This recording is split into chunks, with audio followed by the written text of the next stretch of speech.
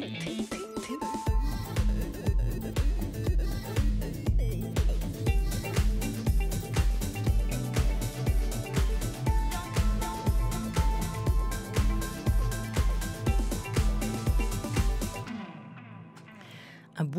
Club libanais aujourd'hui avec euh, deux auteurs, deux écrivains. Selim Nassib, auteur du Tumulte aux éditions de l'Olivier, et Sabil Goussoub, auteur de Beyrouth sur scène chez Stock. Au sommaire également, avec vous Sébastien Thème. Un autre livre autour du Liban de Ryoko Sekiguchi qui paraît en format poche chez Folio et puis l'émission d'Arte Le Dessous des cartes à retrouver en livre, un atlas géopolitique pour comprendre le retour de la guerre. On va parler donc du Liban aujourd'hui, à quelques jours de l'ouverture du Salon du Livre de Beyrouth. Après une édition mouvementée euh, en 2019, le salon va rouvrir ses portes. Avant de commencer, euh, permettez-moi quand même de vous présenter tous les deux un peu mieux. C'est important pour la suite de l'histoire et de vous saluer. Selim Nassib, bonjour. Bonjour. Et Sabil Goussoub, bonjour. bonjour. Selim Nassib, vous êtes né à Beyrouth en 1946 dans une famille juive. Vous avez construit votre récit euh, en deux parties derrière votre protagoniste Youssef.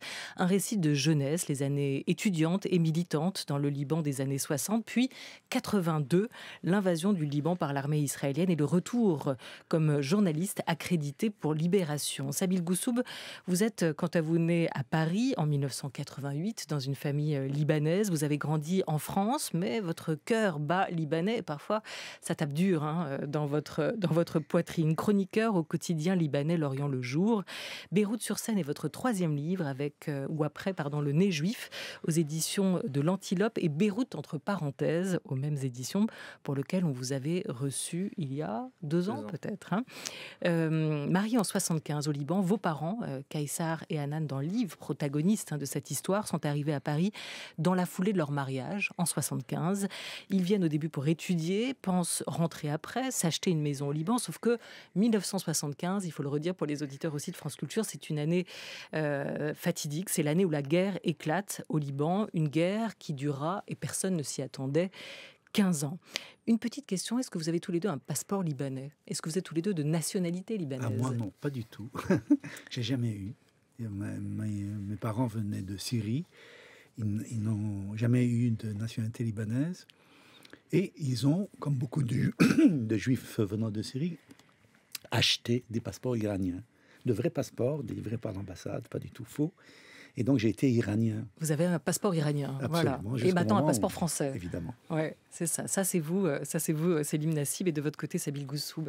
Moi j'ai la pièce d'identité libanaise, mais pas le passeport. Au grand dame de ma mère, je n'ai pas, je n'ai pas envie de renouveler ce passeport-là. D'accord, mais vous avez la nationalité en tout cas. Et, euh, et, ceci pour savoir si on peut vous présenter comme des écrivains libanais, Selim Nassib. Oui. Oui, quand même. On hein. peut, pourquoi pas. On peut. Vous êtes né à Beyrouth et cette histoire est, la vôtre à travers ce personnage. On va commencer avec, euh, avec vous, Sébastien Thème, et des, et des retours de lecture. Tout à fait. Deux analyses de vos livres. Euh, Selim Nassib et Sabil Goussoub. Premières impressions de lecture avec deux comptes Instagram très littéraires. Le premier, c'est Sophie lit des livres. Elle s'est penchée sur votre livre, Selim Nassib, Le tumulte, qu'elle décrit comme un livre sur une ville, sur un peuple, un livre sur un idéal universaliste, sur l'humanité l'humiliation et la haine également, et elle conclut en écrivant qu'elle a été émue par le personnage de Fouad, parce qu'au milieu du chaos, il en faut toujours un pour croire encore à la justice, et elle termine par idéaliste. Est-ce que le mot idéaliste vous convient? Euh, C'est-à-dire que c'est l'histoire d'un enfant qu'on trouve à 13 ans au départ et qui va jusqu'à la quarantaine qui, au fond, euh, partie après partie dans le livre, recherche une seule chose, c'est qu'il veut échapper à la condition que lui a assignée sa naissance. C'est surtout ça, c'est-à-dire que au Liban, il ne s'agit pas seulement de juifs, des juifs, des chrétiens, des musulmans, ils sont assignés à une position parce que c'est leur origine. Et donc tout l'effort de ce héros, de ce personnage, c'est d'échapper à cette origine. Alors, euh, il, l'essaye quand il est gamin, puis il essaye quand c'est mai 68 et que le, vent de mai 68 passe par là, et il essaye encore quand les Israéliens envahissent le Liban en 82 et qu'il décide d'être à Beyrouth euh, enfermé avec les autres. Alors, sa tentative est un peu illusoire, il n'y arrive pas euh, finalement, parce que finalement il perd, finalement le pays explose, finalement euh, les, les euh, comme ça, les, communautaristes prennent le dessus. Mais quand même, c'est comme un, un rêve, un rêve qui, qui ne s'est pas accompli et qui pourtant reste en souterrain, parce que comme, comme le, Liban vient de nouveau de connaître une, un soulèvement, on se dit que les, bonnes idées ne meurent jamais. Oui, idéaliste, mot euh, évoqué par Sébastien, et, cette, euh, cette lectrice euh, convient quand même bien au livre. Utopiste aussi, hein, pour ce jeune homme militant. Sébastien. Et Sabil Goussoub, alors vous, vous avez été lu par Amélie du compte Silence on lit. Elle nous dit ce qu'elle a pensé de votre texte depuis Beyrouth, où elle vit. Beyrouth-sur-Seine, j'ai découvert dans un contexte euh, assez particulier, puisque je l'ai lu euh, une semaine avant d'aller m'installer euh, là-bas. Et c'est vraiment un livre que j'ai lu d'une traite. Et ce que j'ai particulièrement apprécié, c'est le fait que ça sonne vrai et juste sur ce rapport que les, Libanais ont à leur pays. Il est difficile d'y vivre, mais il n'est pas plus facile d'en vivre éloigné. et ça, c'est vraiment une thématique qui m'a beaucoup plu. Euh, j'ai aussi aimé qu'on parle de, ces enfants de l'exil, hein, ces enfants de la, diaspora, qui sont pris entre, deux cultures différentes et pour qui il est difficile de se construire. La question se pose, se pose vraiment. Ce qui m'a aussi semblé intéressant, c'était le fait que, à travers l'insertion de, plusieurs destins de personnages de, la famille, on aborde en fait une histoire assez récente et, et très complexe euh, du Liban. Euh, et, vraiment, enfin voilà, il y a beaucoup de, beaucoup de vie, beaucoup de, sentiments dans tout ça. On sent tout l'amour qui est malgré tout porté à la, à la culture et au pays euh, libanais. Et euh, puis coup de cœur pour les parents, ils, sont assez, ils sont assez géniaux. On a vraiment, vraiment envie d'aller prendre un bon café libanais avec eux. Sabine Boussou, est-ce que cette critique vous convient entre complexité et convivialité? Ce livre, il rend compte de ça aussi? Ouais, vraiment des deux. Et à travers l'histoire des parents, j'ai essayé justement d'essayer de, raconter cette guerre du Liban et cet exil-là, de raconter aussi mon rapport, c'est-à-dire en, m'éloignant un peu d'eux, en, me montrant quand je les interrogeais, je voulais montrer la différence qu'il y avait de rapport, de lien avec le Liban, mais aussi ce qui m'avait transmis de cette histoire-là. Euh, oui, c'est très touchant cette, euh, cette chronique. Comment vous le qualifiez, votre rapport hein, au Liban? Complexe, je pense, comme beaucoup de Libanais, j'imagine comme celui aussi de Selim, mais c'est un rapport entre un... Déjà, c'est ce que mes parents m'ont transmis, donc c'est très délicat, il y a beaucoup d'amour derrière, en même temps, il y a beaucoup de colère. Je crois que le mot colère, c'est amour et colère, plus que amour et haine d'ailleurs. Colère pour toute l'injustice qu'il y a au Liban, pour l'injustice de, de, ces événements, de la guerre, de cette guerre de 15 ans, mais pour aussi ce qui se passe aujourd'hui au Liban, euh, que ce soit la crise économique, l'explosion du 4 août, et etc., euh, etc. Vous le dites hein, aussi euh, dans le livre, il y a un moment, euh, vous n'avez plus envie qu'on vous pose la question sur ce qui se passe là-bas et surtout qu'on vous demande des explications. Parce que c'est l'enfer hein, pour un Libanais de devoir expliquer quel est le problème en fait. Qu'est-ce qui se passe en ce moment au Liban? Est-ce que c'est plus facile pour vous, Célim, qui avait bah, été journaliste et qui avait aussi appris à raconter? Ce qui se passe, c'est, il y a eu 15 ans de guerre. Pardon. Au bout de des guerres, les, chefs miliciens ont enlevé leur uniforme et ont mis des costumes civils. Ils ont pris la direction du pays et ils l'ont conduit à sa perte. Corrompu, euh, euh, ignorant, incompétent, ce qu'on veut.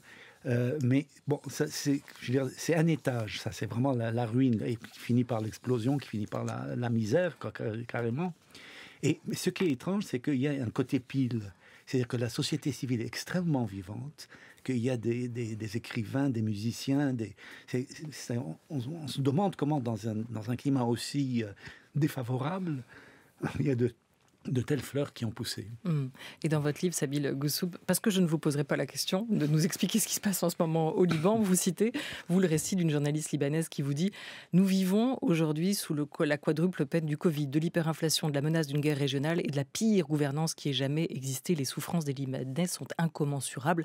On a quand même à vous lire euh, tous les deux le sentiment d'un pays qui n'ira jamais bien, peut-être parce que ce rêve que vous évoquiez d'ailleurs, hein, Célim, euh, est, un, est un rêve impossible. Cette utopie que vous aviez. Euh, euh, dans votre adolescence, vos années militantes aussi, euh, est irréalisable et qu'il y a quelque chose de l'ordre de l'utopie perdue. Oui, mais euh, quand même, les choses sont un peu plus compliquées parce que c'est les deux en même temps. C'est-à-dire en même temps, c'est dramatique et en même temps, c'est formidable. Ce n'est mm. pas une utopie qui est juste un rêve qui a disparu ou qui est, est impossible de réaliser. Mais c'est en même temps. Pourquoi est-ce que les gens sont tellement attachés à ce pays? C'est que la magie continue d'opérer. Euh, ce, n'est pas. C'est noir d'un côté, et, mais d'un autre côté, on sent une vitalité, une sympathie, une gentillesse, euh, extraordinaire. C'est un peuple formidable, c'est vrai. Et énormément d'humour qu'on retrouve euh, sous la plume de, de Sabil Goussoub dans Beyrouth sur scène, euh, qui a paru à la rentrée chez Stock. C'est vraiment un récit sur, sur l'exil, celui de vos parents et en héritage le vôtre. Vous, les parents et toi, vous êtes des déracinés, vous dit d'ailleurs votre sœur Yala, et vous reconnaissez qu'elle a bien raison sur ce terme de déraciné. L'histoire de vos parents, elle se confond avec celle du Liban, mais la vôtre aussi, c'est celle d'un Liban, on l'évoquait, qui vous colle à la peau et peut-être aussi un un peu comme avec vous, Céline Nassib. Euh, vous l'avez raconté, cette, cette, triste prophétie euh, qui euh, a été dite un jour à, votre personnage alors que vous faisiez des allers-retours, c'est votre double un peu quand même hein, dans l'histoire, entre Paris et Beyrouth, et qui lui est dit, Beyrouth te suivra jusqu'à ton dernier souffle, où que tu sois, c'est elle qui te fermera les paupières une dernière fois. Même chose pour vous, Sabil Goussoub? Cette prophétie, vous l'avez jamais entendue, mais elle vous colle aussi à la peau euh, elle, nous, elle nous colle à la peau, oui, ouais. Moi, de toute façon, c'est une obsession. Ça fait dix ans que je travaille en tant que photographe, en tant qu'écrivain, et je suis obsédé par ça. J'ai écrit euh, des livres où il y a Beyrouth tout le temps, où il y a des livres où c'est le Liban est en titre, euh, des séries photographiques où, où, c'est toujours le Liban qui est souvent très concerné. on essaye de faire avec. J'ai l'impression, après, moi, je pense qu'on a un lien différent, c'est aussi générationnel. Quand, quand Céline dit que ce pays est formidable, je crois qu'il y a beaucoup de gens de ma génération maintenant qui ont quand même du mal à dire qu'il est aussi formidable. En tout cas, il est formidable par l'amour de sûrement des parents et de ce qu'on nous a transmis. Mais c'est vrai que je connais beaucoup maintenant de, jeunes trentenaires comme moi qui ont qui n'arrivent plus à utiliser ce terme-là. On est vraiment plus triste, en colère, et on n'a plus très envie de retourner au Liban. On a, on a une, certaine distance avec. Euh, vous êtes né, vous, pardon, hein, je précise juste, Célim Nassi, vous êtes né en, en 46, on le disait, vous en 88, euh, Sabil Goussoub. Vous êtes de la génération presque des parents hein, de Sabil Goussoub. effectivement, vous le sentez, cette, différence de perception? Cette phrase qui, qui, fait le bandeau du livre Beyrouth te suivra jusqu'à ton dernier souffle, qui, qui est d'un journaliste libanais qui s'appelle euh, Georges Boustani, elle, elle exprime pas tellement de la nostalgie qu'une addiction quelque chose qui est vénéneux, quelque chose qui fait qu'on ne peut pas partir, qu'on est toujours euh, tenu comme s'il y a un clou dans le manteau qui vous empêche de vivre et d'aller ailleurs. C'est euh, c'est une chose que moi j'ai continué à sentir, parce que ça fait 40 ans que je vis en France, et j'ai continué à écrire tout le temps sur le Proche-Orient, sur le Liban, sur le, sur le conflit israélo-arabe, etc. Comme, comme une, comme une euh, encore une fois, une addiction qu'on ne peut pas quitter ce que vous avez aussi euh, ressenti euh, de votre côté, euh, Sabil Goussoub, et, vous le racontez, c'est aussi quand même l'histoire d'un retour impossible, hein. le vôtre, parce que vous avez, vous avez d'abord peur d'y être arrêté à l'aéroport, et vous en faites le récit dans ce livre. Vous avez été en Israël, vous l'avez dit publiquement. Israël, pour un Libanais, c'est la destination totalement interdite.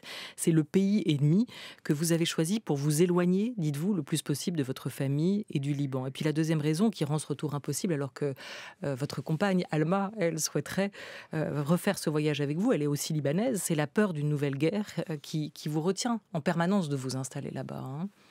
Euh, il y, a, ces deux-là, il y, a ces deux facteurs-là. Alors sur la peur d'une nouvelle guerre, il y a un nouvel accord maritime qui s'est fait entre Israël et le Liban qui va peut-être nous préserver un petit peu d'une guerre, en tout cas sur les années à venir. Euh, donc ça, j'espère que ça puisse vraiment se passer, qu'on n'ait plus peur de cette guerre-là en tout cas. Mais, euh, mais oui, c'est très, très compliqué d'y retourner. C'est très compliqué. Moi, j'appréhende toujours le, fait de retourner au Liban. Là, ça fait deux ans depuis l'explosion que j'y suis pas retourné, ni ma compagne. Et là, on y retourne à la fin du mois et, et on est dans des étapes pas possibles parce qu'on y va, parce qu'on n'a pas envie de se confronter à la réalité, parce que je crois aussi qu'on est très humble par rapport à la situation, dans le sens où nous, on va arriver avec nos euros, et donc par rapport à toute une partie de la population libanaise qui euh, gagne des livres libanaises et donc qui ont très peu d'argent aujourd'hui, euh, on n'a pas envie de se pavaner avec notre argent au milieu de ce pays-là. C'est-à-dire qu'il y a toute une façon de rester humble. C'est un peu comme quand on pose la question de ce qui se passe au Liban. Ben, je renvoie aux journalistes qui vivent là-bas, dans le sens où moi, je vis plus cette réalité-là. Donc, je vois pas comment je pourrais raconter ce qui se passe là-bas étant donné que c'est plus mon quotidien vraiment les problèmes d'électricité, d'eau, etc. Hmm. c'est vrai. C'est vrai. moi, je suis, moi, je suis allé au Liban euh, après une très longue absence. Je suis allé au Liban quand il y a eu le soulèvement. Et, et ça, c'était vraiment extraordinaire. C'était vraiment. Soudain, on a l'impression que ce, qu'il y a quelque chose qui ne meurt pas. Et puis, j'y suis revenu un an après, hmm. après l'explosion. Et c'était tout le contraire. C'était vraiment un pays comme dévasté littéralement dévasté avec euh, les gens qui avaient de l'argent en banque qui ont, qui ont été euh, saisis. Euh, l'argent, leur argent leur a été pris. Voilà, et on a, vu, on a vu quand même ces nombreuses scènes terribles, hein, ces images euh, de, Libanais qui se rendent dans des banques euh, armées, euh, qui menacent pour obtenir une part de leur argent, parce que c'est leur argent qui est en banque et qu'ils ne peuvent pas retirer, pour pouvoir souvent payer les soins d'un membre de leur famille, et qui après en ressortent menottés parce qu'ils ont fait une prise d'otage pour pouvoir obtenir cela. Ils donnent l'argent à la famille et ils repartent menottés de, de ces banques au Liban. Vous avez évoqué cet accord à l'instant, Sabil Goussoub, on y revient si vous le voulez bien, avec vous, Sébastien Thème. Oui, avec euh, une déclinaison de l'émission Le Dessous des cartes sur Arte, un livre, euh, un atlas géopolitique titré Le retour de la guerre. On le doit à la présentatrice de l'émission, Émilie Aubray, et au docteur en géopolitique Franck Tétard aux éditions Thaïlandier et Arte Éditions. Un retour de la guerre provoquée par la nouvelle invasion russe de l'Ukraine en février dernier, qui a remis les cartes à la une de l'information. Un monde qui bouge, des cartes qui changent et des problématiques qui sont toutes interdépendantes santé, climat, énergie, alimentation, même défense. Un atlas qui contient plus de 120 cartes, un chapitre sur le Moyen-Orient et un focus sur le Liban, une caisse de résonance des tensions régionales. Émilie Aubry nous en dit plus. En fait, quiconque s'intéresse à la géopolitique mondiale et s'intéresse au Moyen-Orient a toujours envie de regarder de très près ce qui se passe dans ce petit pays qui s'appelle le Liban, parce que le Liban, de par sa position géographique et de par son histoire, a toujours été au fond une caisse de résonance de tous les conflits de la région.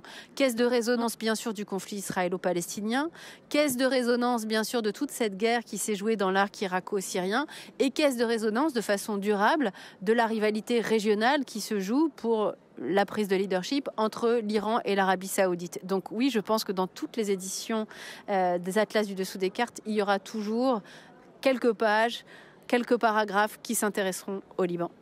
Céline Nassib euh, Sabil Goussoub nous rappelait qu'il y a quelques jours, Israël et le Liban avaient conclu un accord historique sur leurs frontières maritimes. Comment vous, vous avez accueilli cette, cette nouvelle, euh, vous qui êtes né au Liban et dont vous avez aussi des origines juives? Bah, écoutez, moi je trouve que c'est une bonne nouvelle. Déjà parce que c'est vrai que la tension était arrivée à un point tel que même si euh, aucune des deux parties n'avait envie d'une guerre en ce moment, quand même ça, pouvait euh, mal tourner. Donc d'abord c'est une bonne nouvelle. Euh, ensuite, je ne peux pas empêcher de penser que les dirigeants libanais, qui sont quand même des, mais je ne trouve pas de qualificatif, vont profiter de cette histoire en disant mais il y a une nouvelle source de revenus, on va devenir rentier, on a plein d'argent qui va sortir de ce... Voilà. Mais malgré tout, bon, Merci. Malgré tout. tout. est géopolitique quand même euh, au Liban encore. Hein, et c'est ce que vous n'avez euh, cessé de remarquer à travers vos rencontres euh, aussi. C'est-à-dire que tout le monde a des affinités avec un pays voisin, mais, mais, jamais le même, que ce soit Israël, que ce soit la Syrie, que ce soit avec les Palestiniens aussi. chaque, personne, chaque Libanais a comme ça des liens très différents hein, et des, des manières de se projeter en dehors de ses propres frontières différemment. Oui, c'est-à-dire que l'expression caisse de résonance, on a l'impression que les conflits autour résonnent au Liban, mais en fait, le, Liban est lui-même la caisse sur laquelle on tape. c'est quand même un peu plus compliqué. Et euh, c'est vrai que c'est vrai que les il faut voir le, Liban, c'est deux montagnes. Et, et, dans ces montagnes, toutes les communautés, toutes les minorités persécutées sont venues se réfugier. Alors, ces montagnes étaient inexpugnables, donc ils étaient un peu à l'abri. Mais regardez la, communauté voisine, la minorité voisine, avec une certaine défiance, en disant bon, il faut qu'on s'entende, mais quand même, euh, on risque de se. Et, donc l'histoire de ce pays, ça a été on s'entend, on s'entretue. On s'entend, on s'entretue. Et puis, on est chacun plus ou moins en affinité avec tel voisin qui veut régler le problème, etc. Et donc, c'est à la fois, c'est comme un pays en conflit avec lui-même est obligé de ne pas aller jusqu'au bout parce qu'il n'y a pas de bout. Et donc, c'est des périodes de, grand, de, grand, de, de, guerre, comme il y en a eu en 1860, par exemple. Vous voyez, c'est très ancien. Et puis de réconciliation. Et quand il y a la réconciliation, c'est comme si de rien n'était. Mais on sent en dessous qu'il y a toujours ce, ce, sentiment, cette oppression. Alors qu'en dehors, on est souriant, on est gentil, on est. C'est ce, ce, ça qui fait que ce pays est si attirant, mais attirant au sens d'une addiction, plus que d'une plus que d'une Suisse du Proche-Orient, comme hmm. on l'a appelé un moment. Comme on l'a appelé souvent. Le rêve de, Youssef, votre protagoniste, euh, Selim Nassib, dans ses années euh, d'enfance, c'est justement que l'identité, que les confessions ne divisent plus. Et il y a un moment où, par ses amitiés, par ses amours aussi, il arrive à dépasser cette question de l'identité, qui au fond euh, finira toujours par le rattraper. Hein. Oui, mais en plus, ce n'est pas. il est politique, mais il n'est pas très poétique. Par exemple, en 68, il s'engage pour rencontrer des filles parce que c'est parce que c'est parce que c'est mixte. Parce qu'on va avoir une, intrigue dans sa vie. On va dire, ouais, nous sommes là, on va faire la révolution, ça va être le grand soir, etc. Et puis, quand même, il y a des musulmans, des chrétiens, des arméniens, des, des Kurdes qui sont dans le groupe. Et donc déjà, c'est un petit groupe qu'on a choisi plutôt que, le, plutôt que le groupe dont on est issu. Hein. Et, mais seulement cette blague, parce qu'il y a un côté blague dans cet engagement, euh, soudain devient sérieux. C'est-à-dire qu'il est jeté en prison, et en prison, il se rend compte qu'il y a quelque chose qui fermente dans ce pays qui va exploser. Et c'est bien ce qui se passe. Le pays explose. Et le, rêve d'avoir un, pays où les gens appartiennent plus à leur patrie qu'à leur communauté s'évanouit. Et s'évanouit pour un moment. Et moi, je vois qu'il ressurgit plus tard et que donc c'est une histoire sans fin. Il ressurgit quand? À quelle occasion? Eh bien là, il a ressurgi il y a trois ans, en 2019, quand soudain la, jeunesse, en particulier la jeunesse de ce pays, s'est soulevée en disant Vous êtes tous des corrompus. Tous, tous, ça veut dire tous. Alors que nous, on veut un pays, un pays qui, euh, qui, qui ait une sécurité sociale, qui ait du travail, qui ait des hôpitaux, qui ait Mais tant qu'il n'y a pas tout ça pour faire commun, chacun se replie aussi et se tourne vers sa communauté. Non seulement chacun se retourne vers sa communauté, mais les, dirigeants de la communauté achètent leur clientèle. En disant, ah bon, vous avez essayé de vous soulever? Eh bien, maintenant que vous voulez manger, venez parce que, parce que la nourriture, c'est seulement moi qui peux vous la donner. Et du coup, c'est un repli amer, c'est un repli dans, la, dans la rage, parce qu'on ne peut pas faire autrement, euh, et parce que c'est la misère. et donc, ils ont repris le contrôle de la société de cette façon. Mais ce n'est pas fini ce n'est pas fini. C'est l'histoire euh, euh, aussi euh, de, votre père. Hein. On peut, on peut l'évoquer comme ça, Sabil Goussoub, qui a cette particularité, lui, de ne jamais vouloir être du même avis que, que les gens qui l'entourent. Hein. Il va toujours prendre la défense du, camp adverse. Il va toujours penser aussi contre lui-même. Face à un pro-palestinien, vous le dites, il devient phalangiste. Face à un pro-israélien, il devient pro-palestinien, et ainsi de suite. Et, et, on retrouve cette idée des, des, fractures et des tentatives de, de les dépasser. Il va vous raconter un moment une histoire, euh, un accord euh, qui, a pu se jouer. Et c'est peut-être les mêmes mots qu'on vient de retrouver chez Céline Nassib, cette idée que de toute façon, aujourd'hui, tout se fait, euh, depuis hier déjà et aujourd'hui encore, pour l'argent. Hein. ce pays a été vendu. il, vous le raconte autour pardon, de la, des, accords hein, du Caire. Hein. C'était ça, cette anecdote. Euh, oui, oui, tout à l'heure, euh, Céline se demandait comment nommer les, politiciens libanais, mais c'est des voyous, c'est des mafieux, c'est des, des, seigneurs de guerre. Enfin, y a, tous ces mots-là euh, les, les, définissent très bien, les définissent très bien. Mais effectivement, comme, comme encore une fois Céline l'a dit, avec les accords maritimes entre le Liban et Israël, on se dit que voilà, si ils trouvent quelque chose d'ici trois ans, que tout va finir dans leur poche encore une fois et que ça va pas servir le Liban ni son peuple. Et, et c'est un peu ça la tragédie du pays. Peut-être quand l'optimisme de Selim est, est, très beau dans le sens où euh, peut-être une fois que ces fameux politiciens qui ont fait la guerre et qui sont encore au pouvoir vont peut-être mourir un jour, en tout cas on, ose croire qu'un jour ils meurent, peut-être quelque chose va changer parce qu'il y aura toute une nouvelle génération qui, qui, a envie de voir autre chose et qui a été dans la rue en 2019. Et effectivement, la révolution n'a pas encore porté ses, fruits, mais bon, voilà, c'est des petites choses qui sont en train de s'installer, même à l'intérieur des familles. Même... Que rien ne se perd. Tout, tout, rien ne se perd. L'histoire, ce n'est pas juste le, la succession d'événements. L'histoire fonctionne à plusieurs vitesses. Mm. Ce qui a été fait, ce qui a été dit, revient. Comme, comme la mémoire revient chez un être humain. Soudain, on se dit, mais ceci s'est passé. Et puis même dans les cas de coup dur, euh, euh, on a l'impression que c'est fini. C'est pas fini parce que par exemple pendant la Première Guerre mondiale, il y a eu une famine terrible qui a fait 150 000 morts au Liban mmh. et, une vague d'émigration énorme. Les gens sont partis ailleurs pour trouver de quoi manger. Et puis les années ont passé. Mais le problème, c'est que ce n'est pas à l'échelle d'une vie, c'est à l'échelle de l'histoire. Le malheureux qui a vécu, qui est tombé, qui est mal tombé, il a une vie terrible. Mais à l'échelle de l'histoire, ça revient. Et, ça, bon, c'est un, un, optimisme, mais c'est un optimisme quand même, je trouve, moi, assez lucide sur, sur ça pourra prendre de, pardon, ça pourra prendre de très nombreuses années et peut-être euh, ni Céline ni moi on verra ce Liban-là, mais c'est vrai que les graines ont été semées, je crois que c'était ta phrase, celle de Fifi, je ne sais plus. Sabil Goussoub, c'est pour retrouver cette mémoire que, que Céline Nassib évoquait à l'instant que vous avez eu envie à un moment d'aller enregistrer votre père, de lui faire raconter son histoire à lui, son passé.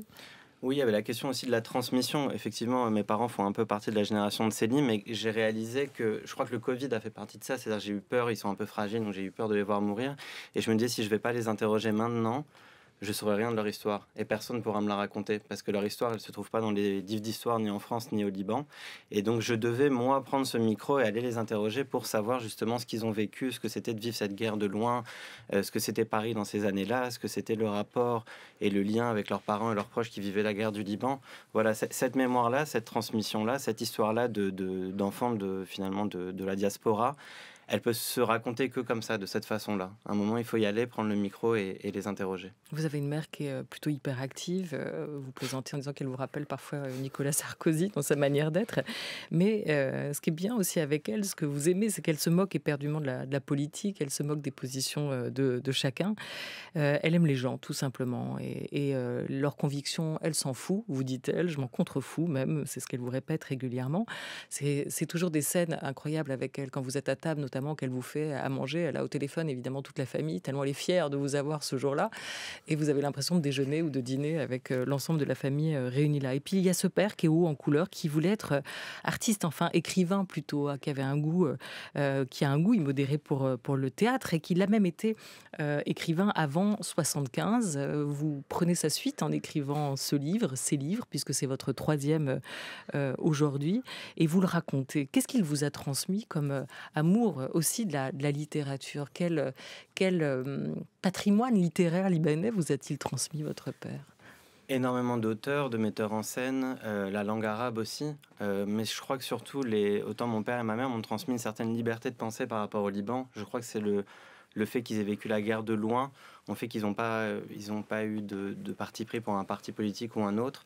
Et autant ma mère qui me dit euh, il faut se moquer des convictions politiques, il faut aimer les gens comme ils sont, et mon père qui a une certaine liberté de parole et qui va toujours prendre le, le, sens inverse de, des gens qui parlent autour de lui m'ont permis, je crois aussi, de raconter cette guerre du Liban de cette façon-là dans le livre. C'est-à-dire que j'ai voulu raconter, moi pour ma part, que ma famille est chrétienne, tous les partis différents qui ont un peu existé au Liban, c'est-à-dire autant les chrétiens qui étaient pro-palestiniens que les chrétiens qui étaient phalangistes et donc qui défendaient les chrétiens, que les chrétiens qui n'ont pas pris les armes, que les chrétiens qui sont partis du Liban et qui ont voulu faire autre chose, et de pouvoir, moi, me mettre à distance de toutes ces histoires-là pour les raconter, sans dire que l'un ou l'autre avait raison. C'est-à-dire qu'avec le temps, sur ma génération, quand on redécouvre cette guerre-là, euh, on essaie de la comprendre le mieux possible, et à travers le prisme de mes parents, j'ai pu en tout cas essayer de la raconter. Euh, de manière très subjective et en même temps en étant un tout petit peu objectif par rapport à toutes ces positions politiques différentes. Célim Nassib, euh, vous l'avez lu, le livre de Sabil Goussoub.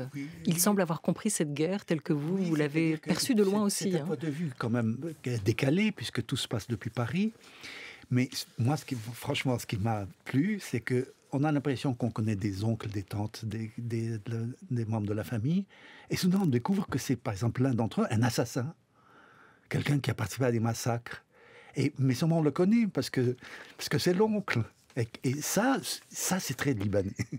Ça, je, je, trouve ça, c'est une chose qui est. C'est le cas de l'histoire cachée de l'oncle Elias hein, de, de, Sabil Koussoub, qui a, qui a vraiment deux facettes, euh, qui a jamais voulu accepter la ligne de démarcation qui séparait Beyrouth et qui en même temps a peut-être un, autre passé ou un passif un peu plus compliqué. C'est-à-dire qu'on a un peu l'impression qu'il y a des blocs qui sont les chrétiens, mais en fait, quand on s'approche, on se rend compte qu'il n'y a que des individus avec chacun une folie particulière. Mm. Et puis, euh, Sabil, il, disait, il racontait qu'il fallait euh, que cette mémoire-là soit transcrite. C'est ce qu'il a fait en, en, interrogeant ses parents. Et, mais j'ai découvert que dans les systèmes d'enseignement libanais, quand on enseigne l'histoire, l'histoire s'arrête en 75, mm. le début de la guerre. À partir de là, il n'y a plus de programme. Et c'est comme s'il disait aux gens, allez voir vos parents, ils vous raconteront, ils vous raconteront leur version. Hein Mais il n'y a plus de version commune en disant, voilà notre histoire. Et 75, c'est quand même il y a quoi, 50 ans. c'est fou. C'est fou. Mm. Et imaginez toutes ces générations qui sont passées sans savoir, sans avoir une, une vision un peu collective de leur histoire. Alors justement, en quelques mots, Célim Nassib, et après je redonne la parole à, Sébastien Thème pour un autre livre qui nous parle d'un autre Liban, et c'est important aussi de le mentionner. J'aimerais que vous reveniez sur cette date, 1982, euh, date tournant dans votre récit et dans l'histoire du pays. C'est l'invasion du Liban par l'armée israélienne pour chasser les combattants palestiniens. Euh, Beyrouth va se retrouver réellement en état de, siège. Euh, que se passe-t-il à ce moment-là et où êtes-vous? En 1982 Au début, dans le premier jour de la guerre, je suis à Paris. Euh, je travaillais à Libération, je suis envoyé tout de suite euh, au Liban. L'aéroport était fermé, mais surtout j'ai choisi d'y aller parce que je trouvais intolérable que l'armée israélienne encercle cette ville pour chasser des, Palestiniens qu'ils avaient déjà chassés une première fois en 48. Je trouve, et, et comme je suis d'une famille juive, que je suis juif, il y avait quand même un côté not in my name. Hmm. C'est pas en mon, nom. Hmm. Non seulement c'est pas en mon nom, mais pour, pour montrer que, que je prends vraiment position, je vais participer, je vais être dans le siège de Beyrouth et je vais prendre les mêmes risques que tous ceux qui y sont. C'est ça. Et là, moi, j'ai vécu une, une, des périodes les plus intenses de ma vie parce que ça a duré trois mois. Et pendant ces trois mois, c'est une ville assiégée. Or, la ville assiégée, il se passe des choses extraordinaires parce que euh, soudain, beaucoup de choses tombent, beaucoup d'égoïsme tombe, beaucoup de... Et, on est obligé de vivre en, en, s'entraidant, en trouvant de l'eau, en trouvant de l'électricité. En, euh, et, et puis, on ne peut pas avoir peur tout le temps. On ne peut pas vivre la guerre tout le temps. C'est-à-dire que ça tombe, les, les, obus tombent et tout. Et puis, malgré tout, la voisine, elle est mignonne. Alors on fait l'amour. Oui, donc on fait l'amour. Et on mange bien. on mange bien. et puis pourquoi on mange bien? Parce qu'on a, une des familles vient de recevoir euh, de, l'autre partie de la ville de quoi faire un, bon plat. Euh, et donc ce mélange de tragique et de, et de trivial euh, dans, ce climat d'intensité. Mais ça, c'est tout le Liban. C'est tout le Liban. c'est ce qu'on trouve dans le livre. C'est ce que Sébastien va nous raconter. dans le livre de Ryoko Sekiguchi, qui paraît chez Folio. Euh, son titre 961 heures à Beyrouth. Euh, le sous-titre, c'est Et 321 plats qui les accompagnent. L'origine de ce livre débute en 2018. Ryoko Sekiguchi arrive à Beyrouth pour une résidence d'un mois et demi. 961 heures donc, euh, afin d'explorer la ville à travers le prisme de la cuisine et, et qui va mêler évidemment des questions de transmission, de mythes, de tradition, euh, de mémoire aussi. Euh, Ryoko Sekiguchi nous parle de ce livre fragmenté. Dans ce livre fragmenté, on trouve des recettes, non dans le sens ordinaire de recettes comptables, avec les indications de poids ou de température, mais comme des façons de penser avec cinq sens Enfin, même si on y trouve aussi parfois des vraies recettes quand même. On y rencontre également pas mal de comparaisons entre Beyrouth et Tokyo, entre le Liban et le Japon, aussi étrange que cela puisse paraître. Des multiples odeurs et parfums, car j'avais envie que ce livre ressemble à Beyrouth et à la cuisine libanaise, qui est une cuisine de parfums. Des mains tendues vers les autres, comme on tend du pain à une petite fille en disant Tiens, mange, c'est bon. Le rêve de la table idéale aussi, où tout le monde peut se retrouver. Ces fragments, vous pouvez les lire dans l'ordre que vous souhaitez, à la façon Mezzé, c'est-à-dire une table dressée avec beaucoup de mets à partager.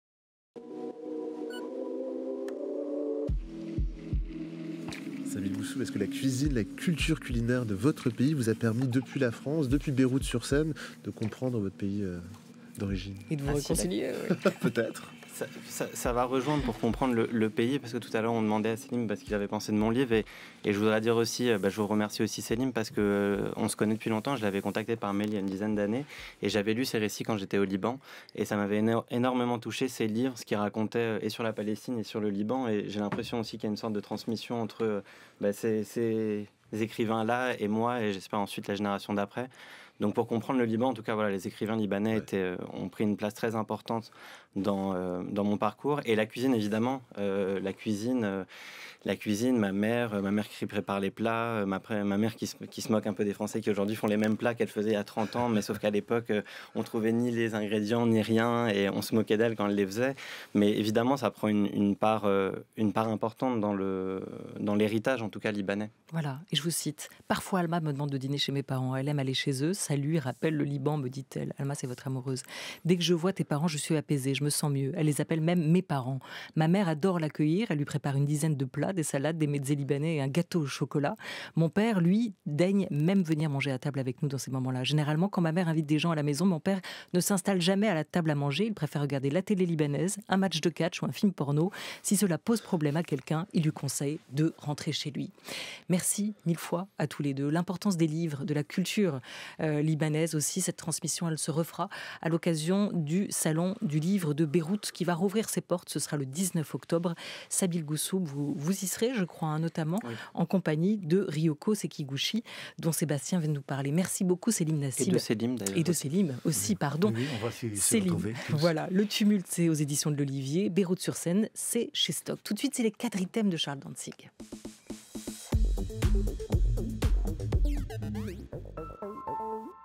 Voilà, le troisième volet des quadrithèmes de notre camarade Charles Danzig avec cette semaine les journaux intimes des écrivains morts ou vifs. Dans les deux quadrithèmes précédents sur les Goncourt et les Otto, je parlais d'auteurs ayant publié leur journal de leur vivant. Dans celui-ci, il va être question d'un écrivain dont le journal a été publié de manière entièrement posthume. Un volume des années 1912 à 1939 vient d'être publié par les Belles Lettres et Fayard. Maurice Garçon était avocat. Les avocats écrivent souvent, souvent ils aiment la littérature. Ils l'aiment tellement qu'ils ont l'audace, dans le monde tel qu'il est, d'inventer des revues littéraires comme Étienne Lesage, qui a créé la revue littéraire du barreau de Paris, dont le prochain numéro paraîtra ces jours-ci. Garçon était bien oublié quand le premier volume de son journal posthume a été publié en 2015. On ne se rappelait plus ses plaidoiries, on ne réimprimait plus ses quelques livres, on avait oublié qu'il avait été membre de l'Académie française. Ce journal l'a ressuscité. Voici le premier effet des journaux intimes posthumes quand ils sont bons. Et celui-ci l'est. Il constitue même une découverte passionnante. C'est en partie grâce aux deux guerres mondiales que Garçon a vécu. N'étant mobilisable ni pendant l'une ni pendant l'autre, il montre Paris sous la menace de l'avancée allemande en 14, avec ses permanents soupçons de trahison. On y retrouve Joseph Caillot, le ministre qui en a été accusé lors de la guerre suivante, étant, grâce à son métier d'avocat, au courant des affaires de police, il s'indigne des commissaires de police de Paris, s'empressant de fournir aux officiers de la Wehrmacht à peine arrivés les adresses des meilleurs bordels de la ville. On nous dit tout le monde était pétainiste et Pétain nous a dupés. Sans doute pour une bonne partie assez exact. Mais dans quelle mesure n'avons-nous pas voulu être dupés? Garçon, pétainiste au tout début de la guerre, ne met pas 15 jours à être révulsé par l'attitude de Pétain. Le plus remarquable dans ce journal est que Garçon n'est pas remarquable. C'est un homme intelligent, sans plus, dépourvu d'idées originales et de points de vue singuliers. Eh bien, grâce à cela, il nous permet de capter l'esprit de son temps. Dans les géniales choses vues de Victor Hugo, on voit le monde à travers les yeux de Victor Hugo, c'est-à-dire qu'on voit Victor Hugo. Dans le journal de Garçon, on voit le monde de tout le monde. Garçon était un badaud. Il est curieux, il va renifler les choses nouvelles. Il dîne avec Almereda, l'anarchiste et futur père du cinéaste Jean Vigo. Il rencontre le général Gallieni. Il établit une sociologie des grands magasins. Parfois il peste, on dirait même qu'il ne sort que pour ronchonner, mais au moins cela éloigne son journal du simple reportage. Le moins intéressant n'est pas que nous assistons à l'apparition des sports de masse, notamment par les premières courses au vélodrome d'hiver en 1924. Faites-moi penser à composer un quadrithème sur les méfaits du sport en littérature. On n'oubliera pas de vous le rappeler, Charles, Charles Danzig. Demain, dernier volet de votre quadrithème de la semaine. Un grand merci à toute l'équipe de Bienvenue au Club, Henri Leblanc et Laura Dutèche-Pérez pour la première partie de l'émission, Oriane Delacroix avec Didier Pinault pour ce book club du jour. Thomas Bou à la réalisation, Alex Dang à la technique. De votre, de votre côté, Sébastien Thème, est-ce que vous avez le sommaire de demain? Oui, demain on entre dans des mondes parallèles grâce au livre de Pierre Bayard et Jean-Yves Joannet. Et pour vous, auditrices et auditeurs, vous pouvez déjà réagir à notre poste très fouillé. Quand le faux passe pour du vrai, bon nombre d'auteurs s'y sont frottés, Pascal Quignard, William Boyd et plein d'autres. Vivement demain. Merci beaucoup. À demain.